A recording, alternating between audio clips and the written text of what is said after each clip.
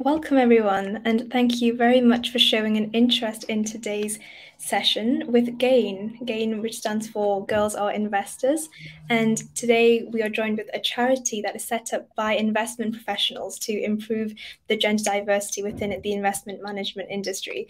And if you've heard of investing before, or if you're completely brand new to what it is, you're in the right place just to kind of we're here to just fill in some gaps of knowledge and just give a bit of a summary, a bit of an informal chat on what um, investment actually is. So, yeah, I'm very happy to be shared, um, sharing this time with Caroline. Um, so, yeah, Caroline, if you could just introduce yourself, please, and um, maybe just give the viewers a bit of an insight into what GAIN does.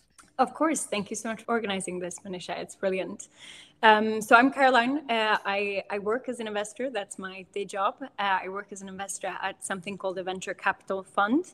Um, so what I do is I invest in startups. Um, so venture capital funds can invest in startups of all kind of ranging levels of maturity, I invest in the very earliest phases of startups. So that's called pre-seed seed. So typically it's just when a company is getting started, maybe there's just a team and an idea. So obviously, as, as you may guess, um, very high risk, but also very high reward. Um, so that's what I do daytime. Um, the fund is called J12 Ventures and uh, we invest across Europe. I kind of split my time half Stockholm, half uh, London, where I'm from originally. Um, and then, yeah, as you mentioned, uh, I'm also one of the co-founders of GAIN. Um, as you said, GAIN stands for Girls Are Investors. Our main mission is to improve the gender diversity in the investment management world. Sadly, today, um, it, the entry level application rates into the industry stands at just around 20%.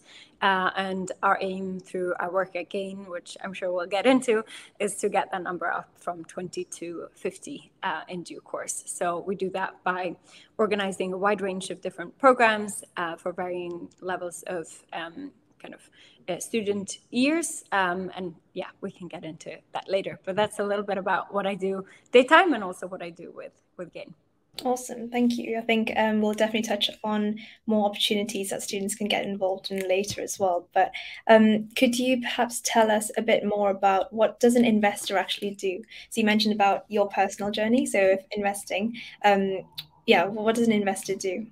Sure. Um, I guess at a very high level, um, investing is really the act of allocating something typically money uh, but it can also be you know your time and effort with the expectation of getting something in return. And typically that is a financial return. So again um, and when you think about investing, you can think about investing both from a personal finance perspective. You can obviously be an investor, and everyone should be an investor in their everyday personal life, even though it's not your profession.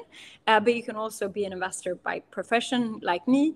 And then um, I mentioned that I work as a venture capital investor, which is investing in startups. But there's, of course, many other different types of investment firms out there. So you could be investing in things like publicly listed stocks uh, in companies. You could be investing in bonds, in real estate, in funds, um, in larger companies. There's really a whole range of variety of different things that you can invest in as an investor. And depending on which types of uh, companies or what type of asset that you're investing in, your role and the type of work that you do as an investor is going to vary massively. So something that I always try to kind of bust some myths around is the fact that you know an investor is kind of one person that only does one thing and you spend all your time in excel analyzing companies. Whereas in reality you know the investment world is so incredibly diverse so there's really something for everyone depending on your your type of personality and your interests. But that's it at a very high level. And how did you personally get into investing caroline? Was it something that you were interested in while you were at school? Any subjects that you did that kind of sparked an interest I think I always had a bit of a business interest. So I studied business and economics in Stockholm. Um, but I should also mention that I think the, the options of what to study were way more limited in, in Stockholm than they were in the in the UK. My primary aim was kind of to go to a good school rather rather than to study the, the perfect thing. Having said that, I think I always had a little bit of a business interest. I um, always had a keen interest in like making a good bargain, if that makes sense. Um, and there's many, many kind of silly ways that that displayed itself throughout my childhood and kind of even when I started working, you know, I, I often tell the example of you know, I'd go to this vintage shop whenever they had a sale, know which things sold, uh, resold for like much higher value on eBay, and then I would buy them and resell them on eBay.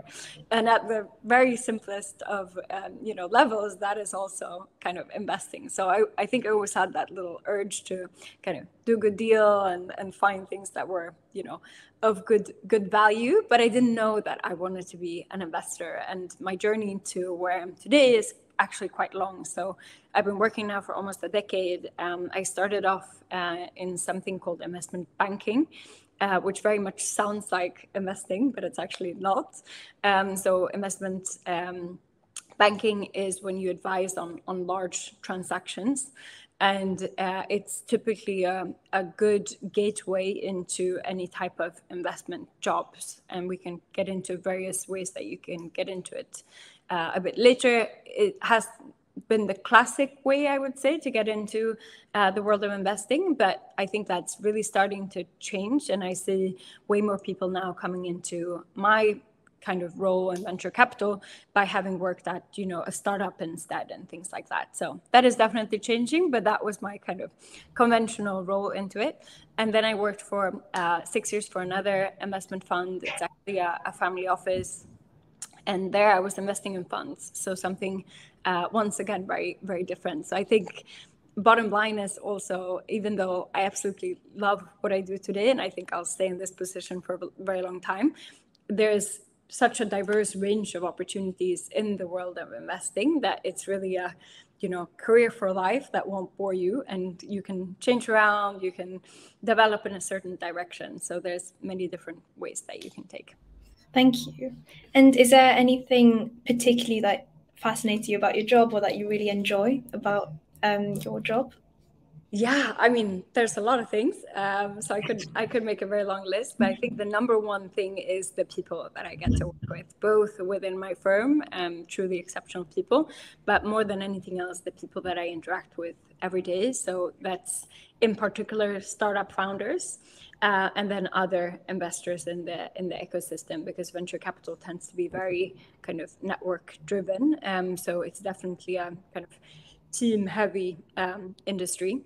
And um, more specifically maybe digging down a bit on the on the people part and the and the startup founder part. I mean if you take a step back what i um, what i do or the people that i have the privilege of speaking with on a daily basis is people that are highly ambitious super intelligent um, but they also are on a mission to change the world.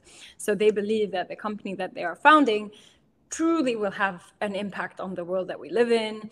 It'll probably contribute to a better society in some way. Um, most often, you know, they're operating at the kind of cutting edge of technological innovation specifically for me, given I invest mostly in data and AI companies, which is obviously on, on everyone's mouth at the moment. Um, so I think the types of people that you meet, the types of conversations that you have on a daily basis are just so incredibly inspiring. So that to me is my, my far biggest um, driver um, to what makes me incredibly happy to go to the office every morning. Um, but there's obviously other adjacent things. So I touched on a few uh, one is, you know, simply the uh, the ability to be able to invest behind innovation and change the world. I think that's hugely rewarding and, and very interesting. Um, and then obviously um, the broader kind of network aspect. You know, you you create not only kind of professional friendships. Uh, but also personal friendships for life.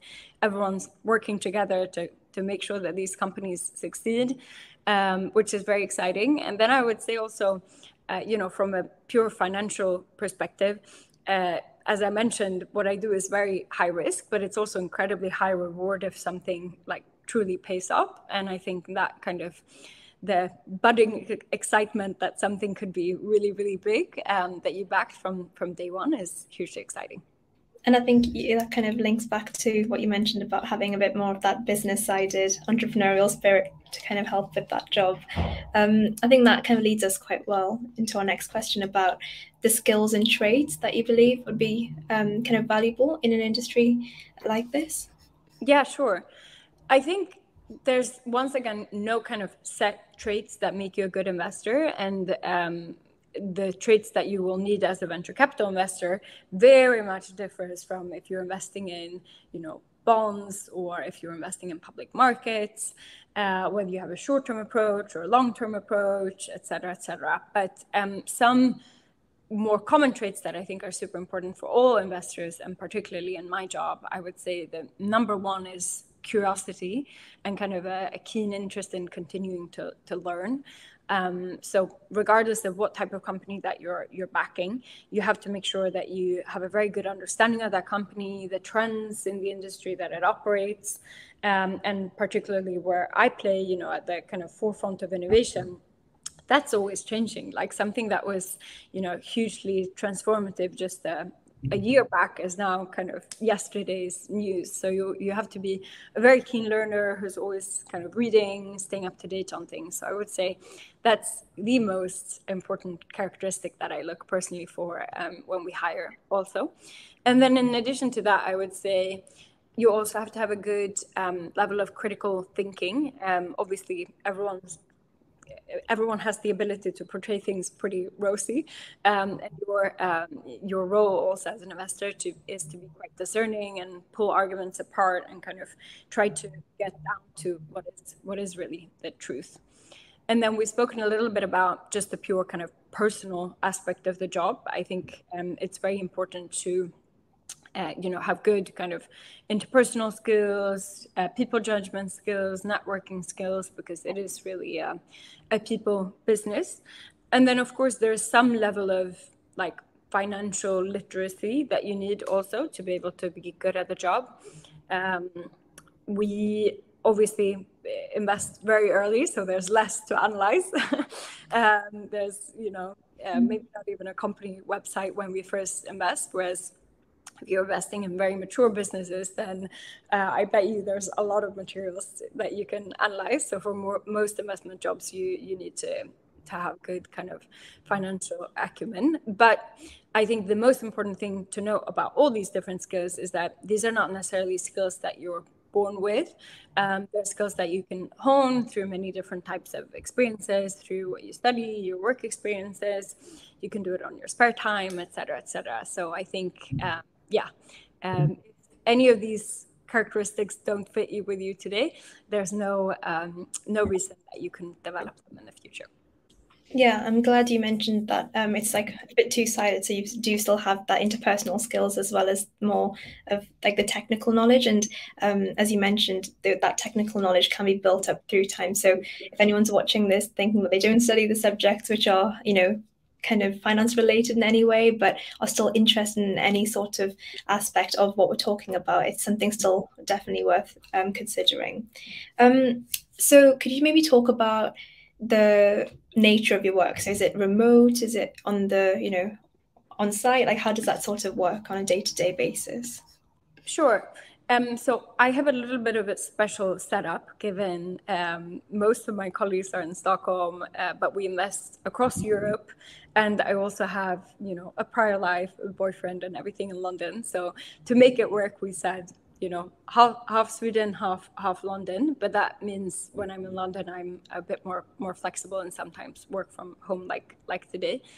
Um, many of the meetings that I take, uh, because we invest across the whole of Europe um, for the sake of efficiency, are, are online, uh, which in the beginning I was a little bit skeptical towards given you know you're actually trying to create a real relationship with a person and you're trying to get to know who they are as a person online but it actually works surprisingly well. Um, at the same time i still really like to be you know part of a team go to an office have that kind of community feel with my colleagues. So i would say it's a it's a very happy balance of a little bit of in office a little bit of remote